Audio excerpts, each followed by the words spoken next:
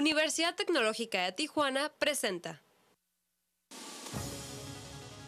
Hoy en síntesis, a nivel nacional dio inicio la prueba Enlace 2012. En Baja California más de 400.000 estudiantes son evaluados. Con el objetivo de propiciar el desarrollo y competitividad del país, los empresarios impulsan la agenda única del sector privado. El candidato del PRI y verde ecologista a la presidencia de la República, Enrique Peña Nieto, en Tijuana, da a conocer sus cinco compromisos por Baja California. Mientras en Estados Unidos se integra la comunidad gay a todos los sectores productivos, en México aún existe rechazo, afirman representantes de los derechos humanos de ambos lados de la frontera.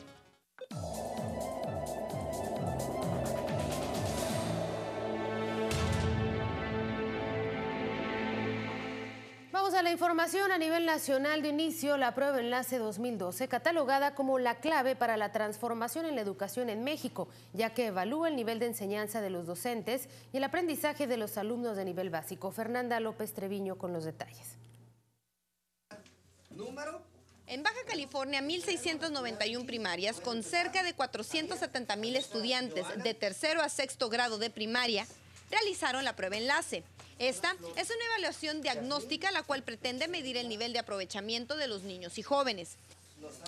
La prueba enlace permanentemente está centrada en habilidad lectora y también en pensamiento matemático. Entonces estas son las, las, dos, las dos áreas fuertes y en esta ocasión se va a monitorear también una, una, tercera, una tercera materia que tiene que ver con ciencias. Lo que buscamos con prueba enlace es determinar el, funcionamiento del sistema educativo en su totalidad.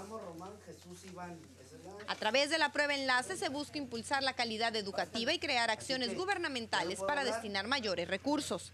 No es una evaluación para los alumnos. Los alumnos nos, ayudan a obtener un, un, indicador que nos permite ver cómo están trabajando los maestros, cómo está trabajando las escuelas, las zonas escolares y en general todo el sistema educativo. Y esto nos permite desarrollar estrategias para que podamos eh, ir mejorando día con día. Este examen inició a aplicarse en 2007. Después de cinco años se han logrado avances en la calidad educativa y mejores resultados en los alumnos de nivel básico de Baja California.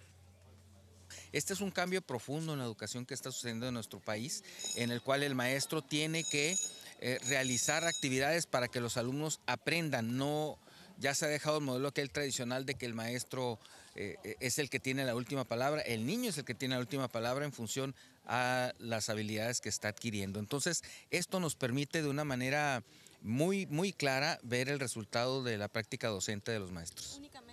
El examen consta de 50 a 70 reactivos de opción múltiple. Son dos días de prueba a nivel primaria. El miércoles 6 de junio se llevará a cabo para el nivel secundaria en todo el país. En síntesis informan Carlos Brightley y Fernanda López Treviño. La fracción parlamentaria del PAN en el Congreso Federal hace un llamado a los diputados para realizar una sesión extraordinaria para sacar temas que se quedaron pendientes durante esta legislatura que está por concluir el 31 de agosto próximo. El periodo extraordinario se reunirá el Pleno de la Cámara de Diputados y Senadores después de la elección del 1 de julio, con temas puntuales en la agenda, donde se destaque sacar la reforma laboral. Eh, la fracción parlamentaria del PAN está convocada, está invitando, está solicitando que haya un periodo extraordinario. Quien tiene la decisión en este caso es el PRI, porque es el quien tiene el mayor número de diputados en la Cámara de Diputados. Entonces estamos esperando que nos digan que sí, para ponernos a trabajar en estos pendientes que podemos sacar adelante y que le pueden dar eh, un muy buen impulso al próximo gobierno para que entre con viada y que no tenga que hacer cosas que pudiéramos haber hecho nosotros. Propuesta del Congreso Federal de homologar el IVA al 16% en la frontera no será aprobada, así lo aseguró el senador Fernando Castro Trenti, quien manifestó que esta propuesta es impensable para aplicarse en esta zona del país. El senador reiteró que la dinámica de la frontera es completamente diferente a la del centro del país, por lo tanto las medidas que se adopten en otras partes de México no pueden aplicarse en todas las regiones, específicamente en la frontera. Y que aquí en Baja California de ninguna manera vamos a admitir ninguna modificación del IVA que implique un incremento eh, en, la forma que ellos lo plantean. Tendrá al revés que plantarse una modificación al sistema sendario del país donde se reconozcan eh, nuestros potenciales regionales y se aprovechen también. Ante el cierre de dos carriles en la garita de Otay, transportistas binacionales establecidos en las cercanías a la garita de San Isidro piden el apoyo de las autoridades para contar con un mayor flujo en la línea de uso de camiones de pasajeros. Señalaron que si bien están de acuerdo con las obras, también perjudicarán al sector transportista, lo que implica realizar más tiempo en la fila. Señalaron que esto no solo los afecta a ellos, sino a los turistas que vienen a Tijuana y que cruzan la frontera utilizando el servicio de transporte. Todos los camiones y vans, camionetas de pasaje o de turismo van a tener que cruzar por la garita de San Isidro, aumentando el tráfico de unidades por la garita de San Isidro. Esperemos resolver el problema de las unidades piratas para poder promover el turismo y que la gente que venga a nuestras unidades se vaya con buen sabor, que el tiempo sea algo razonable, no de tres horas, un tiempo normal de media hora a una hora. Hacemos una pausa, no se vaya, regresamos con más para usted.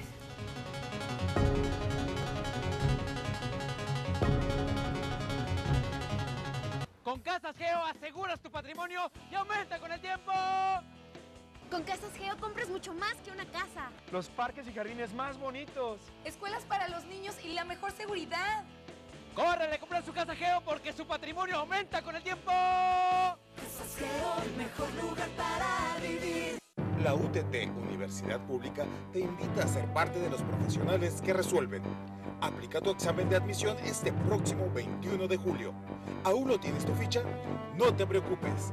Ingresa a nuestra página www.uttijuana.edu.mx. Las manzanas se ven riquísimas. Además contienen ácido fólico, Jackie para aquello de los bebés? Me las llevo. Bueno, solo porque es la experta. Brilla como experta con el plátano portalimón que está a 6.90 el kilo y la sandía rayada a 3.50 el kilo. Las únicas estrellas son los martes y jueves de plaza de la Comer. ¿Te urge adelgazar? Adelgaza rápido con la fibra Menonita Plus. Y ahora la nueva leche de alpistle Menonita, que te disminuye la sensación de apetito y elimina la grasa corporal y complementa aplicándote la hieloterapia menonita. Un auténtico gel reductor que reafirma, restaura elimina la grasa y estrías de las piernas, antebrazos y vientre, 100% naturales. Hola California, es que pase un excelente día. Mañana esperamos que es un martes místico y por supuesto nos acompañará Darío para practicar yo. Además, usted se quiere asustar un poquito con las leyendas mexicanas, estaremos viendo nosotros historias que le pueden suceder a cualquier mitos y leyendas. ¡Uy, qué mello! Pero eso no es todo. Vamos a tener a Tartarela aquí en estudio para que nos endulce la mañana. Ándale, un delicioso postre. Además de eso, nos sumamos a la celebración del Día Mundial del Ambiente. Todo esto y más mañana en punto de las 8.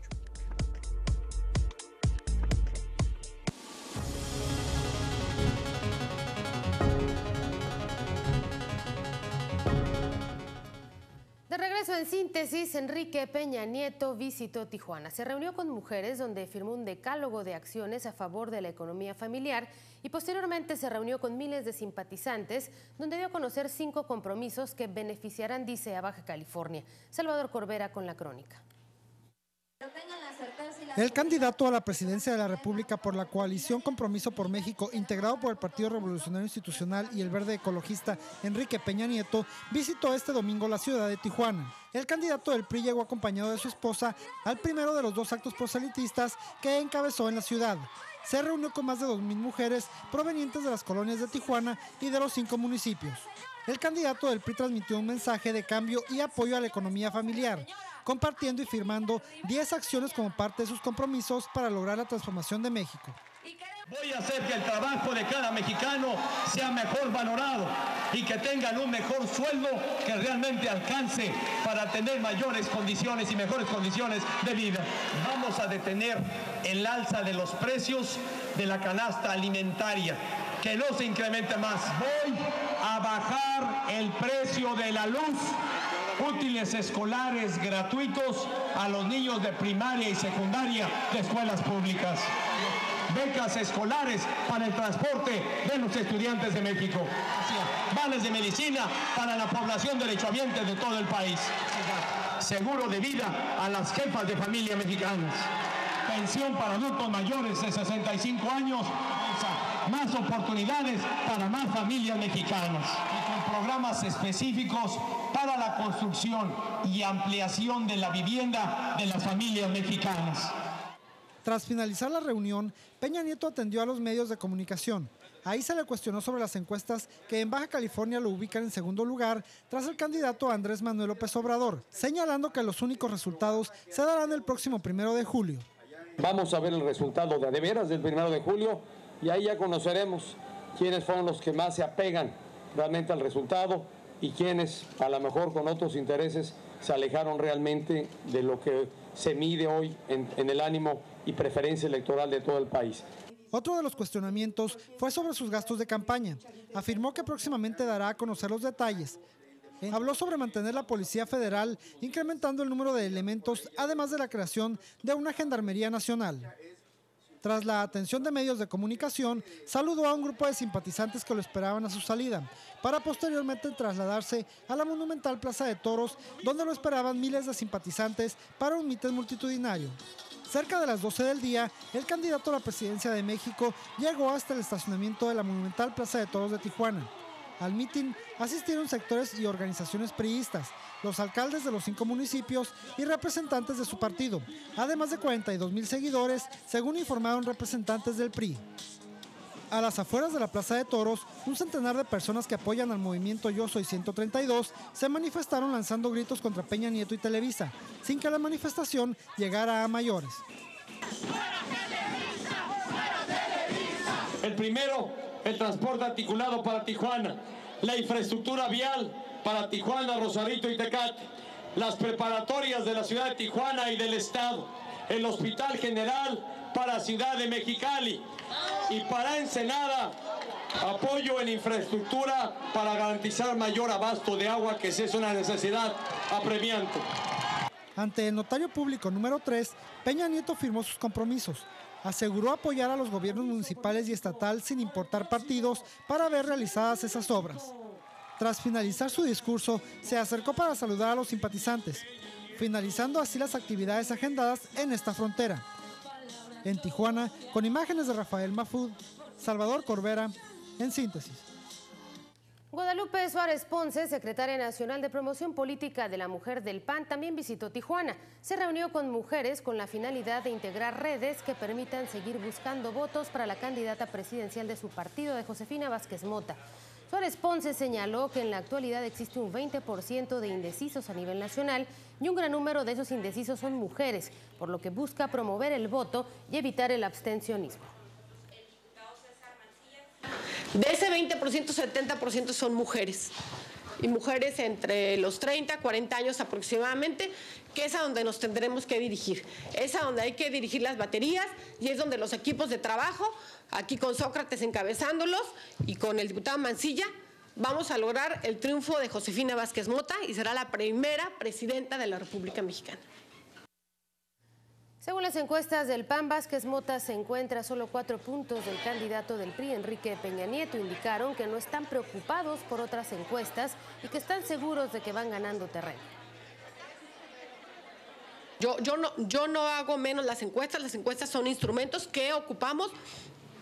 Nosotros en nuestras encuestas estamos a un dígito de ganar a Enrique Peña Nieto. El día de antier tuvimos una encuesta que sacó el Partido Acción Nacional en donde estamos a cuatro puntos nosotros abajo de, del señor del copete. Pero